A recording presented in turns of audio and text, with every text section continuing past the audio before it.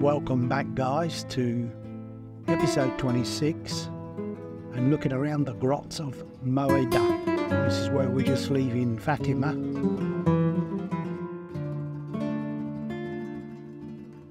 And now, two or three miles from Fatima, the grots. Going to go down some rocky grots in Portugal. See what we can see some stalactites and stalagmites. So down we go into the intestines of the earth.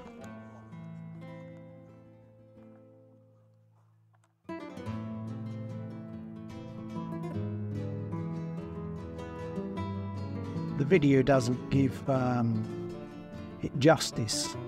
You're actually in there, it's so much better.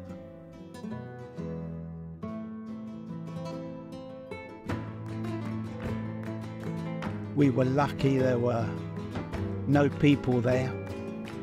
Had the whole place to ourselves almost. Perhaps there was one or two people.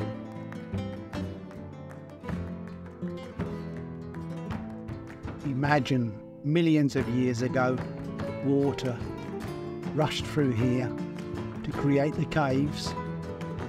And then for millions of years, water droplets made the stalactites the stalagmites. And the only way I can remember which is which, the stalactites hang from the ceiling because the stalagmites might go up. Now, I don't know if that's a good way of remembering, but that's how I do it. So we continue our walk. It's not a very big cave. Coloured lights, uh, giving it a really lovely effect.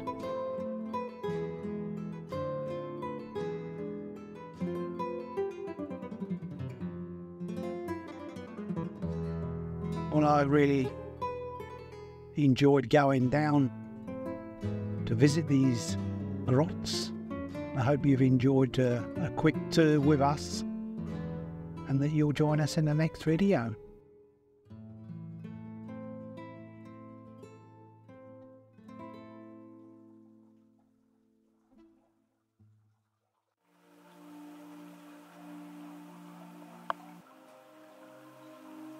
Now we're almost at the end of the walk.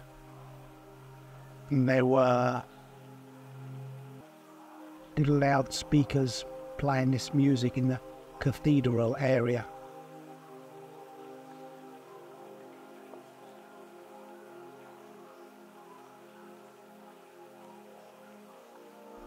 Well, all good things come to an end, and our little tour down the grot is just about finished.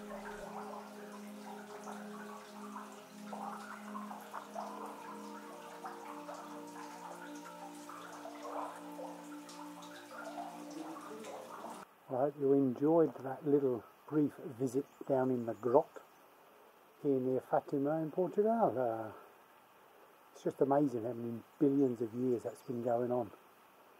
And we're just here like a, a speck of dust in a speck of time. That'll still be here when we're long gone. So guys, if you get down to Fatima and you visit the uh, sanctuary, don't forget to come and see this place it's well worth a visit.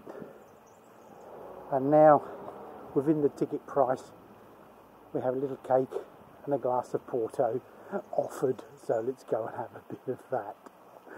I'm all for freebies. Ciao. Looks like a tree trunk, but it's a piece of rock from down out of that cave.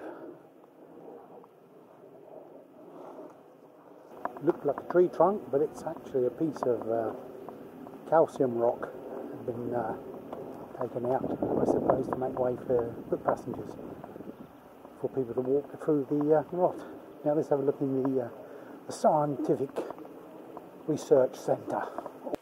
So in this uh, building, as you can see, there are many, many what I would just call stones, uh, rocks, crystals, all sorts of uh, rock types from around the world. I know that there was one particular piece of rock that I have at home so I could make claim to that, and it wasn't this. Looks like jade. Well, no, it's not that one. Don't think it was.